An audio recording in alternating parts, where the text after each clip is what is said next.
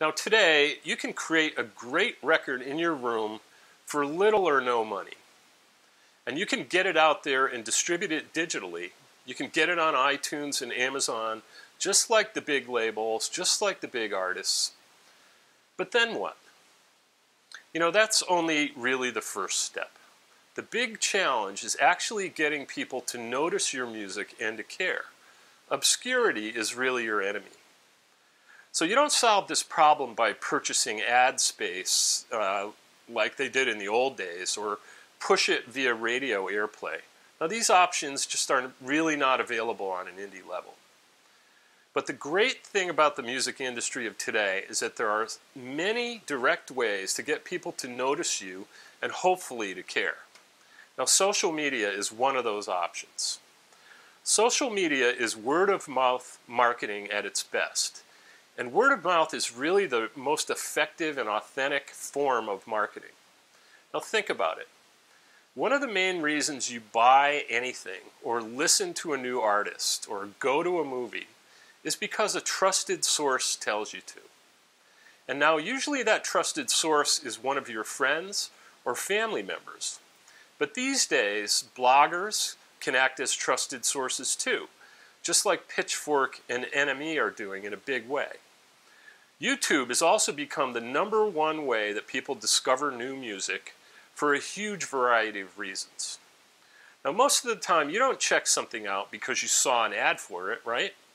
Most of the time, it comes from a recommendation. So you want to use social media to get people to care about your music and you as an artist and to tell their friends about you. It's a slow process to build your fan base up this way, but in the end, you'll have a solid fan base that really cares about your music, people that you could count on to spread the word.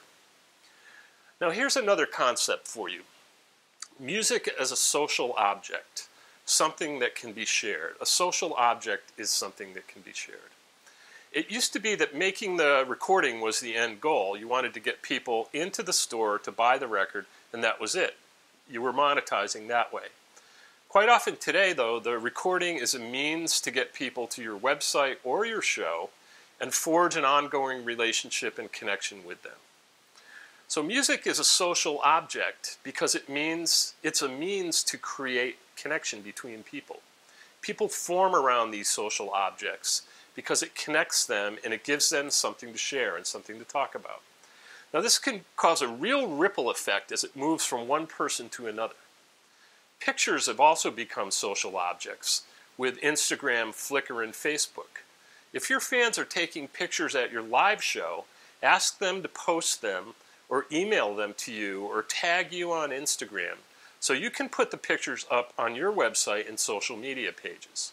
Now, the fans who took the pictures will share them with their friends, and their friends are going to see that and they'll come to know about you through that friendship, and they'll know about you and your music, and they might come to your website site and they might check out the photos or they might eventually come to a show.